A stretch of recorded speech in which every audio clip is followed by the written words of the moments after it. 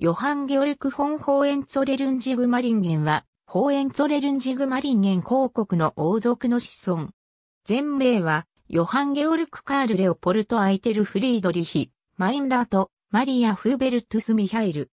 ホーエンツォレルン公家課長、フリードリヒの三男で、スウェーデン王女、ビルギッタの夫となった。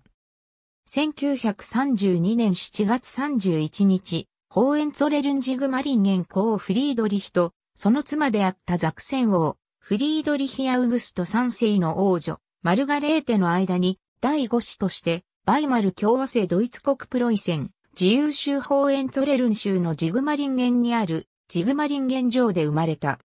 ヨハン・ゲオルクは1955年から1964年までパリフライブルクミュンヘンで美術史と歴史を学び、フランスの大聖堂の王立ギャラリーに関する論文で、ドクターフィルを取得した。1966年からバイエルン州立絵画コレクションに勤務し、1986年からはバイエルン州立博物館の館長となった。1991年にバイエルン州立絵画コレクションに理事長として戻り、1998年までその職を務めた。1998年から2006年までは、ヒポ文化財団美術館の館長を務めている。妻のスウェーデン王女ビルギッタとは1959年に親類や友人を集めて行ったカクテルパーティーであった。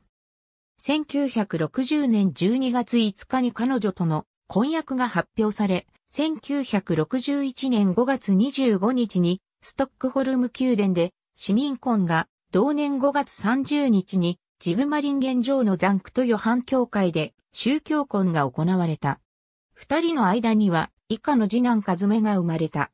夫妻は1990年から別居しているが、法的には死去するまで結婚したままであった。ありがとうございます。